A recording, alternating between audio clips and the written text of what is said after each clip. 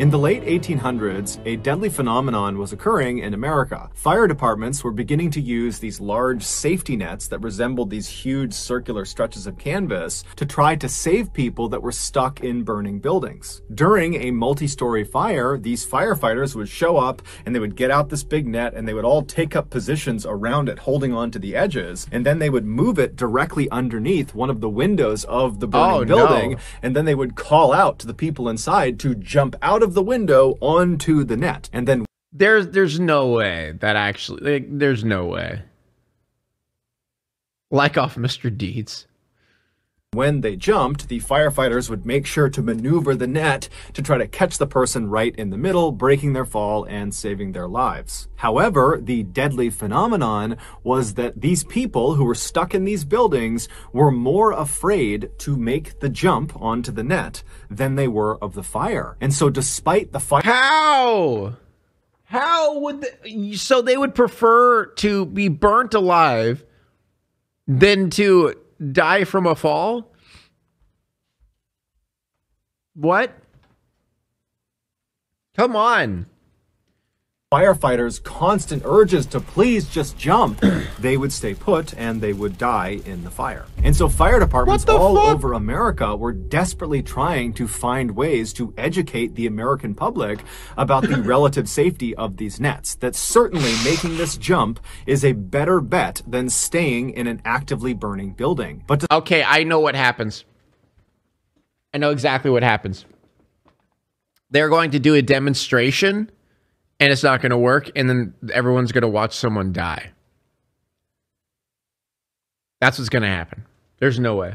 That- Despite their efforts, Americans were setup. still staying put in these buildings and dying unnecessarily. Yeah, it's a new video. In 1883, which was around the time of this deadly phenomenon, a diving instructor working out of Washington, D.C., named Robert Odlum, heard about this issue and he thought to himself, you know, if Americans just maybe saw someone make the jump successfully, Oh, they wouldn't be afraid anymore. And since Yep. Robert was a diving instructor Yep. and so was very comfortable jumping from heights, he thought, well, who better to make these demonstrations than me? And so, in collaboration with several Washington, D.C. fire departments, Robert began hosting these demonstrations where he would leap out of multi story buildings onto the safety net. And very quickly, these demonstrations began attracting very big crowds, but not because they wanted the education of the event, they just They were hoping he would die. Let's be real. There's some weird, fucked up thing when it comes to humans where we want to watch a car crash. We want to see chaos and mayhem. You know what I mean? Like like when you're when people watch NASCAR in races, they just want to watch someone crash. You know? They just want to watch someone burn like crash and burn and potentially die. They like a lot of times NASCAR watchers don't watch. I mean, obviously, you know, a lot of them probably watch loud noises and vroom vroom, and they turn left.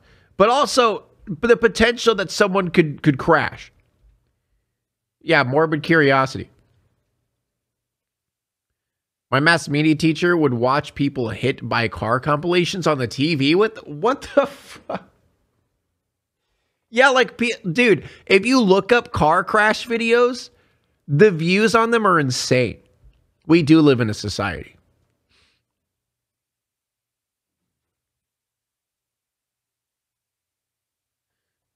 just wanted Good to see someone jump out of a building onto a net. It was like a circus act. And Robert, who was not expecting this to happen, found himself really enjoying the attention he was garnering. And so pretty quickly, he stopped doing demonstrations to He's gonna he's gonna make um he's gonna go higher. He's gonna up the ante. He's gonna go higher and higher and higher until he dies. Show off fire net safety and instead began jumping off of huge bridges into bodies of water just because people thought Oh. it was awesome. He was becoming this celebrity in Washington D.C. And soon Robert began taking What do you mean his potentially? show They all over the country, someone to basically touring True. to all these bridges all over America. They He love would put out toying with mortality. all over the city, encouraging people to show up to the bridge on the day of his jump. And then when he would get to the bridge, there'd be hundreds and hundreds of people cheering him on. But Robert's very unlikely and rapid rise to fame and fortune quickly spawned copycats. And in 1885, so two years after Robert Oh. had begun this Okay, this took a turn. his popularity was beginning to wane because he was no longer as unique. Before, it was really just him doing these jumps, and now he was kind of a oh, commodity. Oh, he's so- gonna do. He's gonna be like the one magician who tried to beat Houdini. Oh no, he's gonna do that. You guys remember that? The dude who tried to beat Houdini and then covered himself in concrete. he thought he could get out. Like, it's it's that. It's that all over again. So, feeling desperate to become relevant again, Robert thought to himself, you know, I gotta do something that sets me apart from all the other bridge jumpers. I gotta do something that nobody else has done. That way I can That once mustache. again become the bridge jumper. And it just so happened there was a bridge that had recently been constructed in New York called the Brooklyn. Yo, twenty five dollars from the Crimson Alchemist. The bid is going up. Bridge that auction was maintained. massive. It spanned 1,600 feet from Brooklyn across the East River to New York City, and at its highest point, it was a whopping 130 feet off of the Oh, water. my And God. so if Robert made that jump, he would actually set the record for the highest bridge jump ever. But by this point, bridge jumping had become popular enough that police Twenty had six caught onto it, and they had made from Sugar Bubblegum. Let's go. it illegal, mostly to protect the bridge jumpers from themselves. And so anytime police saw advertisements for an upcoming bridge jump, they would show up to the location on the day of the jump in force and they would stop the jumper from jumping. And so Robert knew this, but he still needed to get the word out about this big Brooklyn Bridge jump. And so he created a very clever word of mouth campaign amongst Okay, isn't the Brooklyn Bridge like famous for suicides? Is that what I'm thinking of? Wh- which bridge is like famous for suicides? Yes? Is it that one? Or is it the Golden Gate? Amongst Us? It's the Golden Gate? Okay, I think I was mixing them up. People in New York, and he also began handing out these hmm. flyers that were fairly cryptic, but still told people where to go and at what time for this big spectacle they were going to see. And on May 19th of that year, the day of the jump, Robert's underground advertising campaign had worked beautifully. By early that morning, the Brooklyn Bridge was covered with hundreds and hundreds of people, also down on the banks as well. There's all these people who are all waiting to see Robert make this record-setting jump. Maybe he'll die this time. Let's go. since he began doing these bridge jumps, and he had developed a sort of trademark entrance. But really, any big arrive in bridge has a lot of black horse and suicides? carriage, True. And then once it stopped on the bridge, he would leap out, and he'd be wearing this long coat, and he would take it off, revealing his swimsuit, and the crowd would cheer, and then he would wave to I just imagine him in like a top hat and a swimsuit. Oh, I've arrived. Oh, your your entertainment is here. Yes. The crowd, and then he would just run to the edge and leap off the oh, bridge. Oh, yes, and so on May 19th, die. all these people who are waiting for Robert, they're looking for this black horse and carriage, and around noontime, someone spotted it. It was coming onto the bridge from the Brooklyn side, and then once it stopped on the bridge, the door flung open, and Robert leapt out in his big coat. He ripped his coat off, revealing his swimsuit. The crowd Oh, I thought he was going to be naked. Oh. Crowd was going wild. Everyone was so pumped about this. He's Yeah, waving and getting ready. He starts running death. to the railing to make this jump. And before he jumps, the police swarm him and arrest him. The police were not dumb. They had caught on to this underground advertising campaign. And so, like everyone else, they were out in force on this bridge. There were all these officers everywhere. And so, as soon as they saw The- Did we get baited? This carriage, they immediately rushed over, intercepted it, and they stopped him. And so as they're arresting Robert, the crowd is starting to boo and they're chanting, let him jump, let him jump. And the police, who are all kind of gathered on the Brooklyn side of the bridge, they're telling people to start to disperse. And as they're doing this, something incredible happens. On the far other side of the bridge, on the New York side of the bridge, another black horse and carriage had just come to a stop on the bridge. The doors had flung open and a man had jumped out wearing a long coat. He had ripped it off, revealing a swimsuit, and the crowd went wild. It was the oh! real Robert Odlum. The man the police Oh, oh shit, dude. Oh, double debate. It was oh my god, double debate. Had arrested was actually an actor that Robert had paid to pretend to be him. Robert had told him to show up at a particular time and make the typical entrance that he would in order to suck all the police It was to an that imposter. side of the bridge. And then while that was happening, Robert would show up and have enough time and space to make the jump. And his plan had worked perfectly. And so the police who are on the Brooklyn side, they see this happening and they realize there's no way they can run all the way across the bridge and stop Robert before he makes the jump. And so, like everyone else, they just kind of When the walked the jumper railing sus. and they watched. And so the real Robert, after revealing his swimsuit, he waved to the crowd, he's smiling, everyone's going crazy, and he runs over to the railing, he climbs onto the other side, and he's looking out over the water, and he gives one more wave to everyone down below in boats and on the banks and on the sides of the bridge, and everyone's going crazy, and then he jumps. Onlookers would later say that at first his jump was perfect. As soon as he leapt off the bridge, like he always did, he put his right arm straight over his head and he tucked his left arm by his side. This allowed him to stay in an upright vertical you, Discount position Jesus. as he fell. But just a second Yeah, by the way, discount Jesus is uh uh the person who made the little brooms and the sign up here for the for the auction. into his fall, a strong gust of wind blew Robert off his axis, and suddenly he was falling on his Oh! side. Now, it's important to understand bridge jumpers, when they jump from really high heights, they need to land feet first in a vertical position. This allows their feet to, quote, break the surface He belly flopped. Tension of the water before the rest of their body comes crashing down. And if they do it that way, the water functions much like the firefighter's safety net. It will break the jumper's fall and save their life. But if the jumper lands at basically any other angle, the water tension will not break fast enough before the rest of their body hits the surface of the water. And so the water, instead of functioning like a net that will save them, will actually function like concrete. So after this gust of wind had blown Robert onto his oh, side, he no. began flailing in midair to try to get himself back to his upright vertical position, but he couldn't do it in time, and so he slammed into the water directly on his right side. And when the crowd saw this, they figured something was wrong, but they didn't really know, and so everyone just kind of oh. gasped and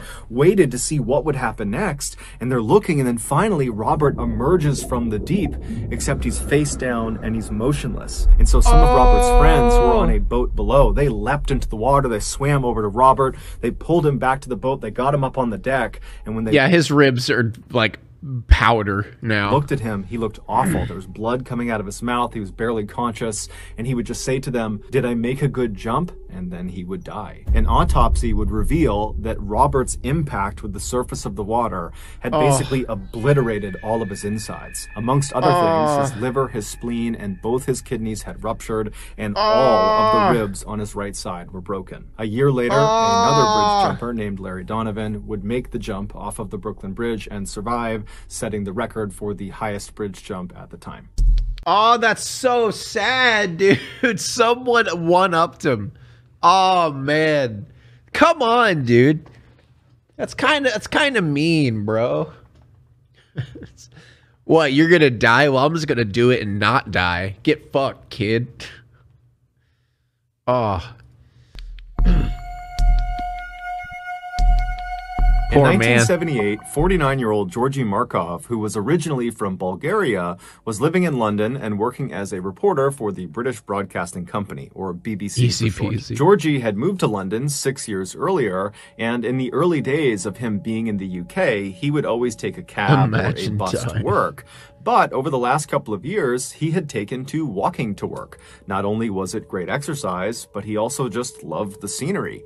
In particular, he liked on his commute to stop on the Waterloo Bridge, this very famous bridge in London, where from that Why has this position gotta do he with had a bridges? beautiful view of the Westminster Palace on one side, and he had the iconic London Eye on the other, which is a very famous Ferris wheel. So on the Imagine morning of September 7th of that year, Georgie got up and he left his flat and he began his typical commute into work. However, by the time he reached the Waterloo Bridge and was getting ready to take in the sights, it had started to rain and Georgie did not have an umbrella.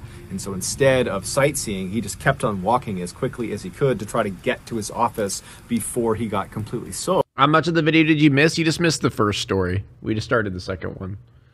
But by the time he was just on the other side of the Waterloo Bridge and still had quite a distance to cover to get to work, the skies had mm. completely opened up. And so, as much as Georgie wanted to walk, because this was something he really enjoyed, he decided it was not worth it. And so he began looking for a bus stop, and he found one pretty quickly, and he rushed over to it. There was an awning that the commuters could stand underneath, and so he ran underneath this awning, getting out from under the rain. And Okay, that's one thing I'm happy about that I don't live in a city is public transportation. I mean, Ubers, uh, like, okay, I'd probably use Uber more, but like buses and subways and stuff, gross.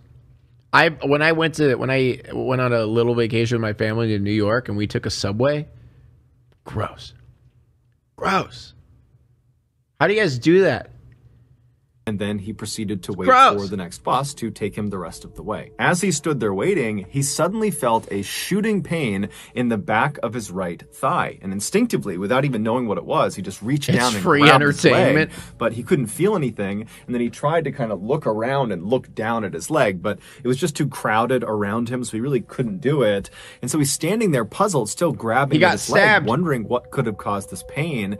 And the only things he could think of were, you know, maybe someone near him had a pen or a pencil out and they accidentally poked him, or maybe it's some sort of bug that bit him, a spider or a hmm. bee or something. He didn't know, but there weren't that many scenarios that made sense to him. But before he could spend very much time dwelling on what had caused this, the bus arrived and Georgie turned around, he hopped on board, and by the time the bus pulled up in front of his office building and he had gone through the doors of the BBC, Georgie had effectively forgotten about this pain in his leg. But Dude, what I imagine there's literally yeah, it could be like a needle. Actually, that's true. I wonder if someone stuck him with like a a diseased needle or something. Like what? Yeah, what if he just had something sticking out of his leg and he's too lazy to just turn around and look? But when he got up to his actual desk and sat down on his chair, when the underside of his thigh made contact with his chair, Oh, it sent that shooting pain into his leg, and immediately he Oh! noticed it. Oh! It was almost like he had a splinter stuck in the back of his thigh, and by pressing it down on the seat, Why didn't you look? that splinter deeper into his leg. And so Georgie stood up immediately, and he's grabbing at the back of his leg, and he's kind of craning his head to look down at the back of his leg, but you know he doesn't see anything there, and so he's standing there wondering what he should do. He's got a really busy What? day ahead of him and he's he's thinking you know should i maybe go to the bathroom and see what this is? But then he tells himself you're overthinking it. This has got to be something minor. You know i need to get to work. And so he Famous sat back last down in his chair being very careful with his right leg when he placed it down so as not to press too hard on the spot that hurt. And then he just got to work. And over the course of several hours even though he knew there was kind of a dull aching pain in the back of his leg he mostly forgot about it. He was just doing his job. But by the second half of the day in the early afternoon the pain in his leg had become so excruciating that georgie was literally gritting Georgie, his teeth and overthinking a sharp pain in your leg is not overthinking. profusely in order to try to ignore the pain. But at some point, it just became too much. He couldn't focus on work, and so he stood up, he left his desk, and he walked down the hall, and he went into the single stall bathroom. And once he went inside and he shut the door behind him, he pulled his pants down and turned around and looked in the mirror to use the reflection to look at the back of his leg. And right away, there was a little bit of a relief there because what he saw was Thank you, Mr. Crab's shiny ass, for the reset. a little bit of redness, a little bit of swelling, but nothing significant. It looked very much like someone must have hit him with a pencil by accident. Okay, so he probably had a little needle or something stick his leg, and when he sat down, it seeped all the way inside of his leg, so he can't see it anymore. That's got to be. maybe it was a bee sting or a spider bite or something, but whatever it was, it was definitely minor, at least in Georgie's mind. And so he pulls his pants back That's up, gotta tucks be. his shirt back in, he leaves the bathroom and goes back to his desk. And then he sits down, and despite this intense pain in his leg, he's convinced himself it's no big deal, and so he just kind of grits his way through the rest A of wood his chip? workday. When he finally got home I again and walked through the door, Georgie's wife looked at him and was like, What's wrong with you? He was so pale, he was sweating profusely, he looked awful. And so he told her about what had happened with his leg, and he was still trying to kind of write it off. But she told him, Georgie, you are sick, there's something wrong, we have to go to the hospital right now. And so at this point, Georgie was miserable, and so he agreed to go. Dude, I know he's gonna die, but like, god damn. That's such a. If he actually does die, I feel like he's gonna because normally these these things they always die. But like, eh, come on, I I hate the dumb alpha male mentality. Uh, you know, like you know, dudes who never go to the doctor. I mean, I get it when you don't go to the doctor or like don't check things out with yourself because you don't want to pay for it. That makes sense. But when you don't go to the doctor because you're just like, "Uh, I can handle it. I ain't a pussy. I can handle this shit. You know what I mean? Like, there's so many dudes out there like that. Like, quit being, stop. Stop being stupid. What do you think? I'm a beta going to a doctor? He's going to put his hands on me. Ew. And so the pair they made their way over to the emergency room at the hospital. I don't go to the doctor because I'm a inside, and pussy? Fair enough. Pulled Georgie into an exam room and said, Now, I, I get the anxiety portion, chat. I get anxiety too. I hate going to the doctor. But if I have something like that happening to me, I'm fucking going. All right? Like, if, like, come on. If I'm profusely sweating because of a pain in my leg, I'm going. You call the ambulance after being shot, pussy? Just, just rub some dirt in it. Okay, you know, tell me what's going on. Why are you here? And Georgie would explain how in his morning commute he had stopped at this bus stop and then felt this shooting pain. And then he told the doctor, you know, I'm pretty convinced this is someone who might have accidentally jabbed me with a pen or a pencil or Accidentally? a bite, a spider bite. I don't know what it is, but I'm convinced it's something minor. And so the doctor, he hears this and he asks Georgie to stand up, pull his pants down so the doctor can get a look at the Yeah, it's site. gotta be And a so needle. Georgie does. He gets up, he drops his pants, and then as the doctor bends down and begins looking at the back of his thigh, Georgie kind of turns around and looks down Thank you, JoJo, for the tier one. and Welcome. he's shocked at what he sees. Even though he does not have a full view of the back of his leg, it's obvious that the swelling and redness on the back of his leg has grown exponentially. Now it looks pull down your totally horrible. And so after a couple of minutes of the Oh. doctor looking at the back of his leg, the doctor stands up and looks puzzled and tells Georgie, "Hold on a minute, I need somebody else to get a look at this." And so the doctor goes out into the main hall, he comes back with another doctor, and that doctor comes over, he bends down and he looks at the back of Georgie's leg as well. And after the two of them kind of talk to each other and they're looking at the back of his leg, they stand up and they walk around and they're facing Georgie now and they say, "Okay, this is going to sound totally weird, but when you were at the bus stop, before you felt the pain in your leg, was anyone around you holding a snake or a reptile? Oh, what? What? Uh, what?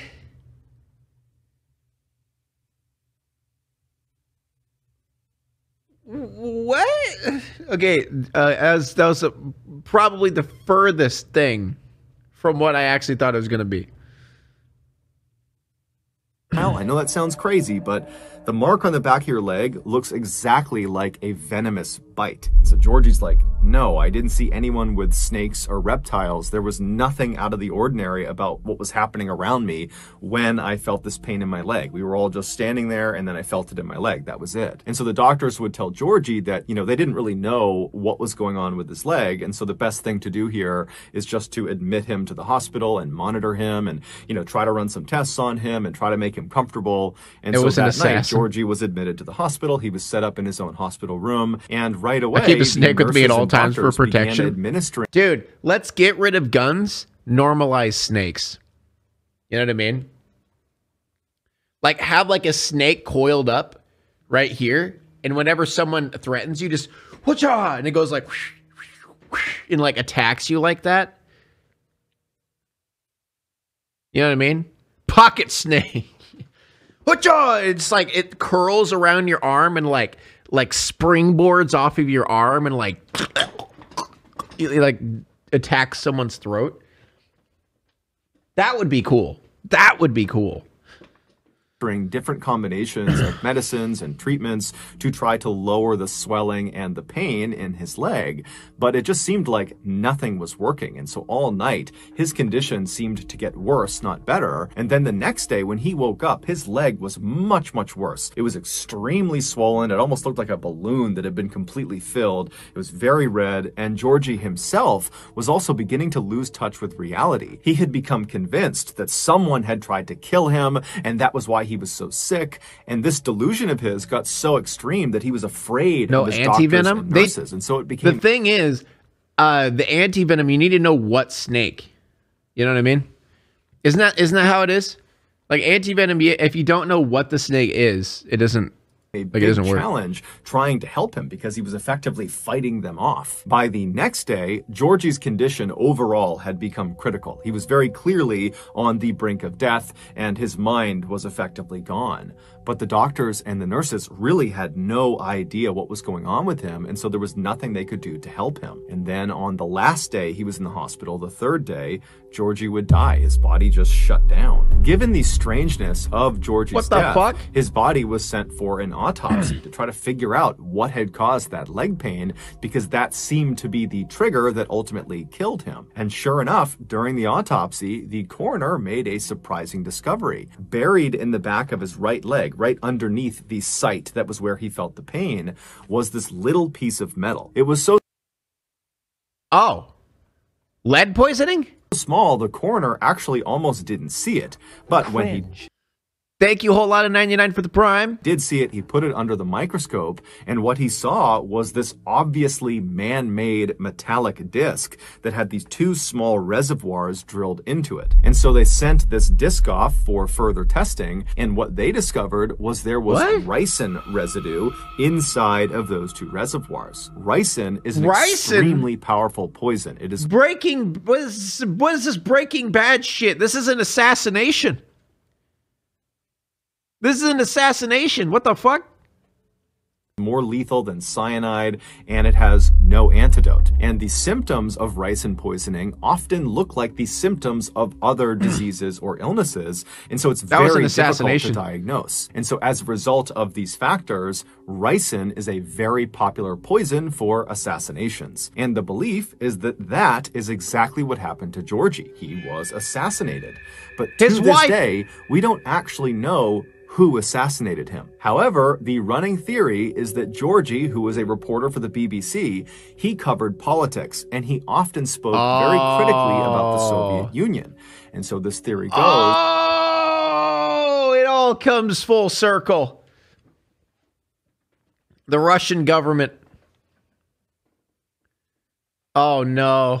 that the Soviet Union's intelligence agency, known as the KGB, they assassinated Georgie for what he was writing about. Adding credence to this theory, a former KGB officer named Oleg Kalugin, who was exiled to the United States in 1991, he claimed that he oversaw the assassination program that targeted Georgy Markov. He said what they did is they put this little tiny disc, that metal disc with the ricin inside of it, they put that at the hmm. tip of an umbrella, and they made sure the disc itself was fairly sharp. And then the KGB assassin with this umbrella simply followed Georgie on his typical morning commute, and then when he stopped at that bus stop, the assassin jabbed him in the back of the leg and then faded into the crowd. According to Oleg, those little metallic discs that had the ricin inside of them, they were actually covered with a thin layer of wax, and only when this disc had been placed inside of the target's body would their body heat melt that wax layer off, exposing the poison.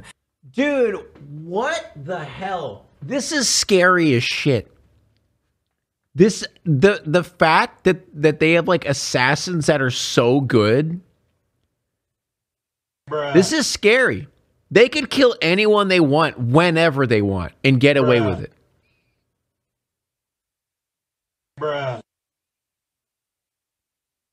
The, bruh. This is literally like like some spy shit. Bruh, bruh. No wonder people are paranoid. Yeah. Holy shit. Is Hitman games in real life. Yeah. The hell? and then their target would die. Don't take later, notes. as Georgie did. However, Oleg's story, despite being as compelling as it was, didn't have any hard proof to back it up. And so to this day, there has been no one officially charged with Georgy Markov's murder. Being a journalist is the most dangerous job out there. I feel like now it's everyone's a journalist. You know what I mean? I, I I guarantee back then, yeah, being a journalist is like you got to watch your shit. But now, like everyone's a journalist. You know what I mean? But yeah, back then, oh god. In 2006, Imagine being exiled to the country you were meant to fight was the against, Lamau. of a man's man. He had spent the bulk of his Yeah, adult life doing one of the most dangerous jobs in the world, mining for coal in West Virginia. And while he was a coal miner, he apparently had lost track of the amount of times he had nearly been killed from mine shaft collapse and gas leaks. Later on in life, after his kids had all grown up, he had retired from coal mining and become an ordained Baptist minister. And despite his harrowing backstory and burly, intimidating appearance, he was known to be incredibly gentle and very calming to his parishioners. He was also known to be an incredibly devoted grandfather to the point where Some journalists go to jail? Still? Like that's still a thing? Well, I guess I mean obviously I guess in different countries. Yeah, obviously America's different cuz free speech and stuff like that. I'm sure yeah, China. I'm sure yeah, China and like wasn't North Korea and Russia kind of freaky too with like how strict they are? where if there was a chance to spend time with his grandkids, he would basically throw all of his responsibilities out the window. in Turkey do that happens. But in dude, I'm so used to like the America bubble. Like I have, I need to like learn some shit about different countries because I have no clue half the time. I know China and Russia are authoritarian. I know that, but yeah, I, I don't know. I don't know much about other politics. And the sad part is, it seems like even other countries know more about American politics than America does which is fucking hilarious. And the reason they know so much about American politics is because it's entertaining as shit. Because it's always stupid. Like they're literally countries uh, uh, across, like are all just laughing at us right now. Mean, yeah, at least we're not authoritarian. Yeah, there's that. January of that year, something changed in Sherman. He went from being this pillar in the community to being a deranged, like watching WWE and lunatic. It all started on the wrestlers. afternoon of January 19th. Sherman and his wife Ruby were sitting in their home Yeah, I'll take some soup, hun. Alone on the couch, just kind of doing their own things, when suddenly, Maybe out some of the crackers. blue, Sherman just starts screaming as if he sees something in front of him that's terrifying him, and his scream startled Ruby Real so picture. that she started screaming, and so she looks at her husband, and he's still just looking straight out ahead. He's terrified of something in front of him, and so Ruby looks from him to where he's looking, and there's nothing there, and so she turns back oh! to Oh no, I didn't mean to say. Oh no, I'm. I was actually being serious. I actually did want crackers with. I did. I actually did want c words with my soup. And that was that was that was literally a Freudian slip. I wasn't trying to. No, no, that no, no, no. Shut up. Shut up. I'm fine. I'm fine. I'm not gonna get. I'm not gonna get banned. Canceled and ratioed. No, please.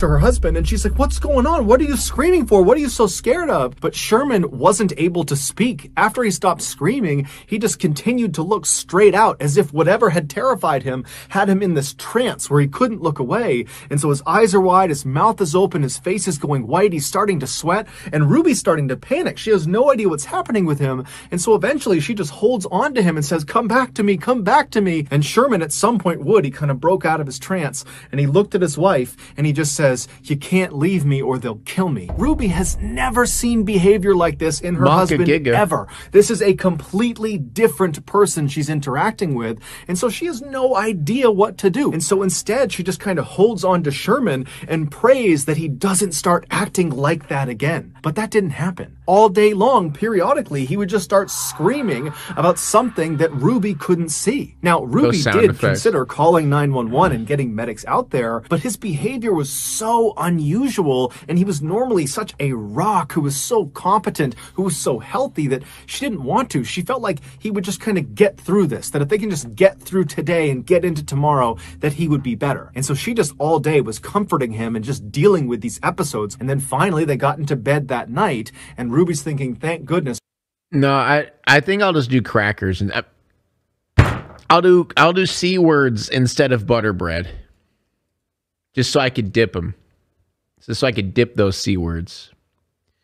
Damn it! We're going to wake up tomorrow and things will be better. But when she woke up the next morning, it was very obvious Sherman had not slept at all. He was looking straight up at the ceiling. He looked worse than the day before. It was obvious that he was not back to normal. And so Ruby Cut called the, bod. rest of the family and I'll had them the come over to figure out what they were going to do. But when Sherman found out his family was coming to his house, he told Ruby they can't come inside. He was afraid they and others were conspiring to bury him alive. The only person he could be around was Ruby, and his whole family had no idea what to do. Little did they know there was actually a very specific reason he was acting the way he was. PTSD? A few months before January 19th, which was the day Sherman turned into this different person, a few months earlier, he began complaining of severe abdominal pains. And so he and his wife Ruby and his daughter, they went to the Everyone has hospital. C words, and but the doctor, after But examining when I say it's C words- tests, determined that most likely his pain was coming from his gallbladder. But the only way to be sure would be to do some exploratory surgery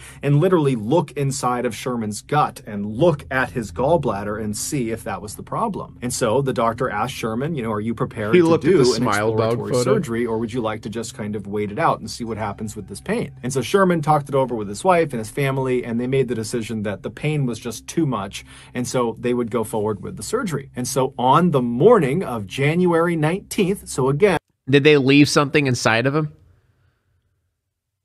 I wonder if that's one of those cases where they like left a tool This inside the of his day that. Sherman basically loses his mind. He goes into the hospital completely normal. He goes in with his wife, he goes in with his daughter, and he makes his way over to the surgery wing of the hospital. He says bye to his family, and he's put on a stretcher bed and he's wheeled in and prepped for surgery and then brought into the operating room. And while he was in the operating room, laying on his stretcher bed, flat on his back, looking straight Oh no!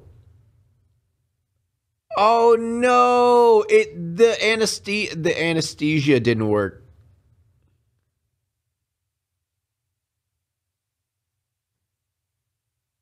I bet he had an anesthesia coma where he- where he couldn't move, but he could feel everything. Dude, that is one of my greatest fears. I'm not gonna lie. That's one of like my biggest fears. I've been put under before when I was younger, and I had uh, appendicitis. Straight up at all these bright lights above him. He just struck up some chit chat with the nurses and doctors who were in the room prepping the room for surgery, and they were also putting the IV into his arm. Then at some point, one of the nurses lowered the oxygen mask onto Sherman's face so the anesthesiologist could administer the two drug cocktail that would knock him out for the surgery. Sherman was scheduled to get something known as general anesthesia for this operation, where basically he would be completely out, he wouldn't feel Oh, anything, no. they'd do the surgery, and then he would wake up in It's called anesthesia awareness. I thought it was like something with a coma, recovery. but And so once this mask was on Sherman's face, the anesthesiologist began pumping him full of the drugs that would make him be knocked out for the surgery. However, the anesthesiologist only administered one of the two drugs necessary oh no!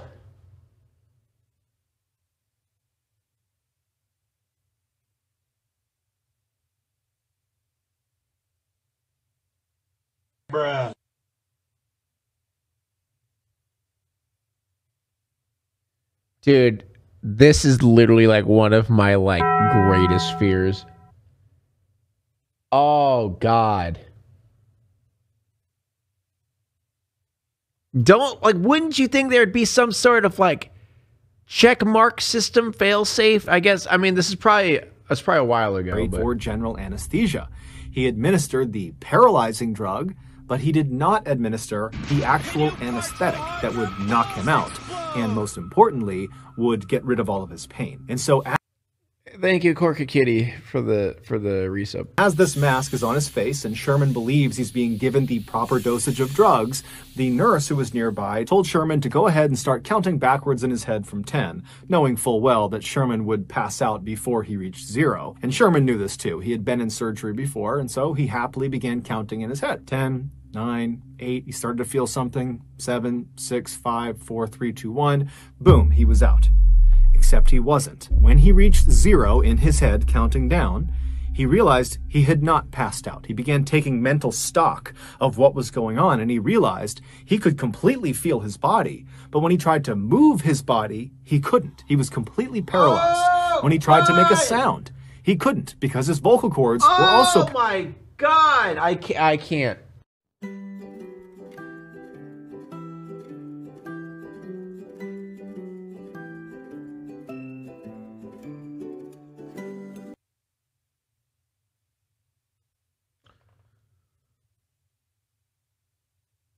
Oh, I don't, I don't, I, this is hard to listen to. This is, this is tough. It's, when I did my C section, I had to tell them I could still feel down there. Yeah, I remember that.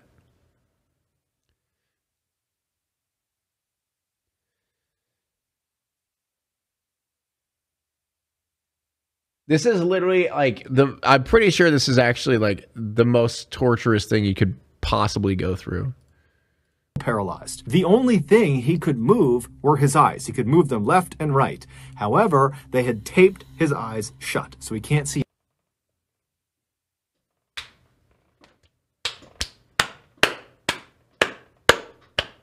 Why? Oh, oh, oh. I was thinking, oh, maybe like they would be able to. Oh. So they don't dry out? Okay, yeah, but couldn't you just do that? Like if, if if he fell asleep and his eyes were open, couldn't you just like do one of these numbers and just push his eyelid eyelids closed? See anything. And so Sherman is thinking to himself, okay, you know, I've been given the drugs, maybe they're slow acting. Any minute now, I'm going to drift off to sleep and this will just be a distant memory. But after a few seconds, he's hearing the doctors and nurses in the room. He can't see them, but he hears them. They seem to be moving towards doing this operation and he's still awake. And so Sherman becomes frantic and starts flicking his eyes left and right as fast as he possibly can. And the rapid eye movement actually loosened the tape on both of his eyelids and it created a tiny slit that he could actually look through, and what he saw terrified him. The surgeon was walking over next to him, he was getting his gloves on, and then the surgeon says, Scalpel. And the nurse hands him this chrome metallic blade, and the surgeon takes the blade and begins cutting into Sherman's midsection.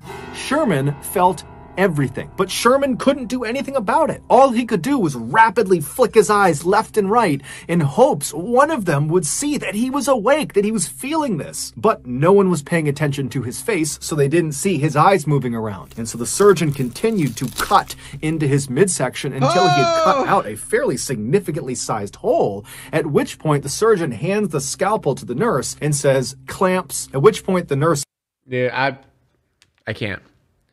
I can't.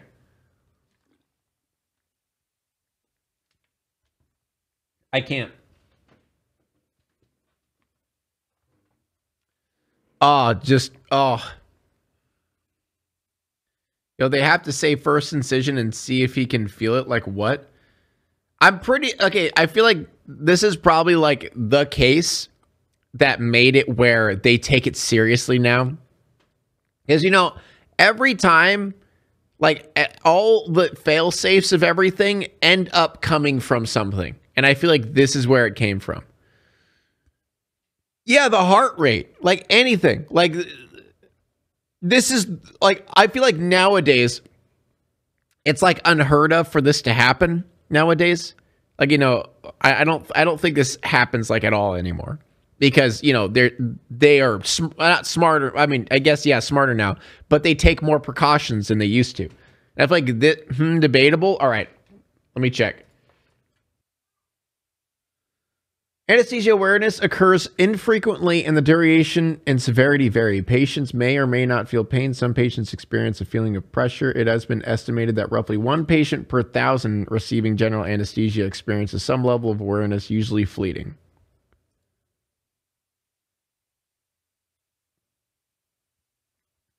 Several studies put the inc- incidence of anesthesia awareness at a 0.1% of all general anesthesia patients. 21,000 of the 21 million people in the US who get general anesthesia in a typical year. Okay. Still happens. But, but I'm talking about uh, errors of the doctor themselves. Because I feel like anesthesia awareness happens, but it, but like the pain element isn't there. You know, like he felt. I feel like the, I'm talking about like, like the doctor uh, fuck up element.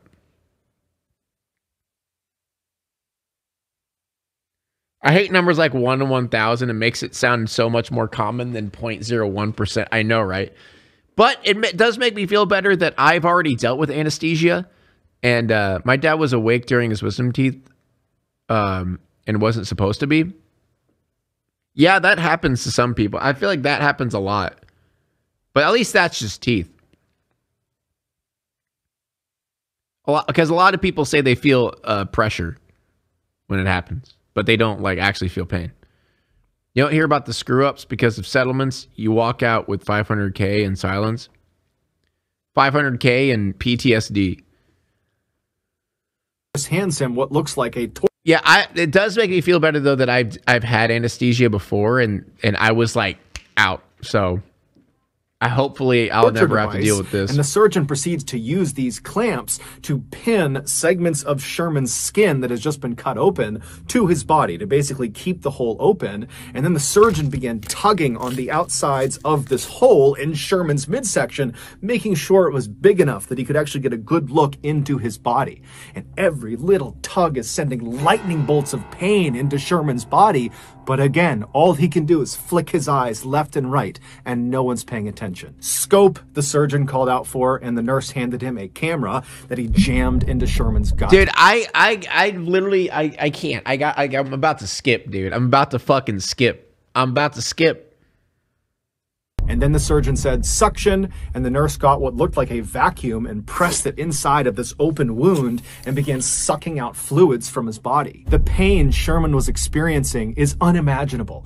Every second felt like an eternity. Forceps, the surgeon called, and the nurse handed him these metal prongs that he put inside of this hole in Sherman's body, and he used them to dislodge his gallbladder so he could get a better look at it. By this point, Sherman wanted to die. He was no longer flicking his eyes left wouldn't he have passed out from pain at that point? Like, wouldn't he have passed out? Like, dear God. Left and right. He was just looking straight out, hoping someone would finally see him. And someone did. One of the nurses standing next to the surgeon looked up at Sherman's face and saw Sherman looking back, terrified at the nurse. At which point the nurse yelled out, Stop! He's awake! He's awake! And the surgeon practically faints and he looks over at the anesthesiologist and he calls him, Get over here and fix this. And so the anesthesiologist comes running over from the side of the room. He gets up next to Sherman and begins pumping him full of painkillers. And as he's doing this, he has this moment of clarity. He remembers he didn't give him the anesthetic. And so as these new painkillers that have just been introduced begin to take their effect, Sherman's eyes go from being terrified to glazed over, and he does pass off to sleep. And so now he's out and he can't feel anything. But now the uh. anesthesiologist and the medical team realize they have a very big problem. Yeah, he's like, oh fuck, I'm fired. Bruh. That the sad part is that was probably his first thought. Like, th- dude, think about this. Like making a mistake as an anesthesi- anesthesiologist is giving someone literally the worst pain and imaginable, giving someone torture. You know, that's just like forgetting pickles on on a burger at McDonald's. It's like a mistake like that. But a mistake like that for an anesthesiologist would literally ruin someone's life. This patient just experienced 16 minutes of surgery and felt all of it. And at the end of it, when he wakes up, he's going to remember it and he's probably going to file a lawsuit against the hospital. And so a decision was made. It's unclear if the anesthesiologist acted alone or if the entire team was in on No this. way. But regardless, the No anesthesiologist administered an additional drug after giving all these painkillers. This additional drug was called midazolam, but it's better known as the amnesia drug. And like No way. No fucking way.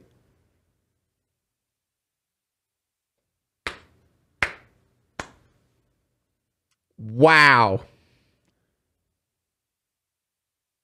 Wow.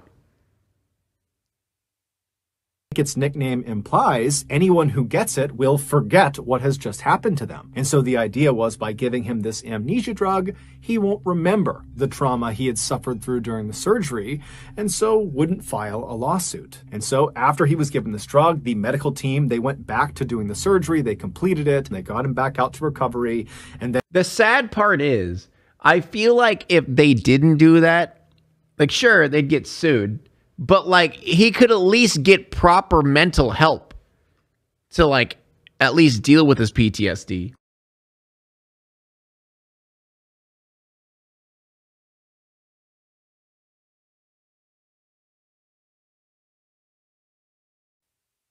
I don't know. I wouldn't want to remember that shit. But you're going, the thing is, what is going to happen is that they give him the anesthesiology drug. He will have the prolonged effects of PTSD, but he won't know why. He won't know why he's afraid. He won't, he- like, what happened to him. He started hallucinating and he started screaming out of nowhere and freaking out because he, he doesn't know why or what's happening. His brain is still dealing with the trauma, yeah, in his subconscious, but he doesn't know why he's dealing with trauma. So that just makes it 10 times worse. At least if he had the trauma himself and he knew where it came from, he at least could get help. You know? All right, one second. I got to go get my soup. I don't I don't know how I'm going to be able to eat after this, but I'm going to go try. Then, when Sherman woke up in recovery, he did not remember what had happened to him inside of the operating room, at least not consciously. Those horrible 16 minutes I had been you. implanted on Sherman's told you. subconscious. Basically, his body recognized that he had experienced extreme trauma. However, the amnesia drug wiped away the memory of how he received that trauma. So there's this big disconnect in his memory. And so when Sherman came to in the recovery room, he immediately sensed something was horribly, horribly wrong. He was scared, he was anxious, he had this incredible sense of dread, but he had no memory to tie these feelings to. And so as Sherman is sitting in recovery, he must have tried to kind of hide the way he was feeling because he didn't even remotely understand it. He had been completely happy and normal going into the surgery, and now a couple of hours later, he's a complete mess. And so he leaves Yeah, the hospital that day dude. on January 19th. He goes back to his house and he sits on the couch with his wife. And as he's sitting there, suddenly these horrible feelings he's having, they become too much. And he basically has a panic attack and he starts screaming out and he's terrified of something, but he doesn't know what it is. And then over the next couple of days, he began having these flashbacks where he would access the actual 16 minutes of torture he went through. But when he would see someone cutting into him and opening his chest up and sucking things out of it, he didn't think that happened to me and that's why I feel this He way. forgot. Instead, he thought it was just this horrible nightmare that he couldn't escape from. And so his family did eventually start getting doctors and psychologists and all these people involved to figure out what was wrong with him. But before they could figure it out, the whole situation had just become too terrible for Sherman. And so on No. February 2nd, just No. two weeks after he came out of No, that he surgery, didn't. he would take his own life. His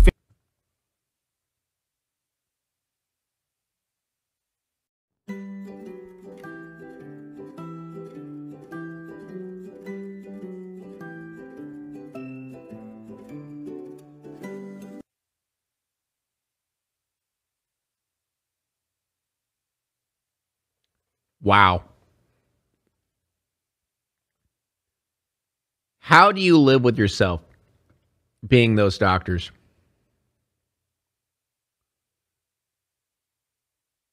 How do you live with yourself?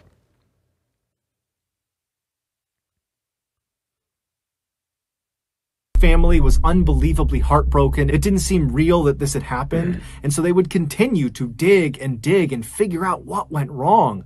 And they would finally get their hands on the medical report from the gallbladder exploratory surgery on January 19th. And after giving it to another doctor to look over, this doctor discovered that Sherman had in fact experienced 16 minutes of something known as anesthesia awareness, where you are awake or feel a portion of your surgery. And shockingly, this happens to 20,000 people a year. However, Sherman's case, forgetting the amnesia drug, just literally what he went through. Don't hit me with 16 that. full minutes of this really intensive surgery that he felt. That is an absolute rarity. That does not happen very often. Sherman's family would go on to sue the hospital, and they would be awarded an undisclosed amount of money from the hospital in 2008. So that's going to It better be a big ass amount of money. Now it's time to walk away. I hope you enjoyed your stay. Did you laugh or cry or maybe subscribed? I'll thank you either way. You know I will miss you. I hope you return. Tell your friend or your mother to get me more views, please.